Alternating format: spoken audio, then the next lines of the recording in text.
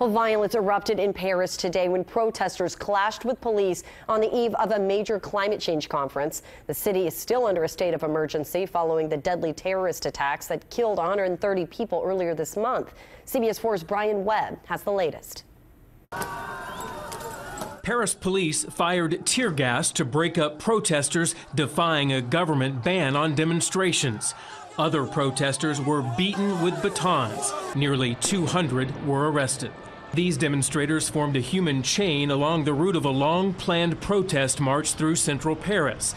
Nearby, thousands of shoes were set out to symbolize the many feet that could not march because of the ban. What we're seeing here is an outpouring of determination from Parisians to be heard nonetheless. The nearly two week climate change conference will address greenhouse gases, which are blamed for rising temperatures. 147 world leaders will be there, including President Barack Obama, who paid respects to the terror attack victims by laying a single white rose at a memorial site.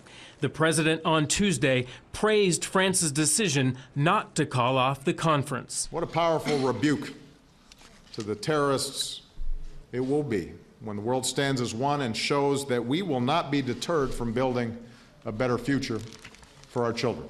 There are 120,000 security forces stationed across France to brace for the biggest security challenge since the terrorist attacks.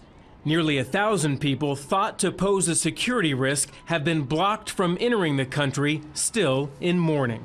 Brian Webb for CBS News, New York. Rally organizers estimate more than a half million people participated in marches in 175 countries.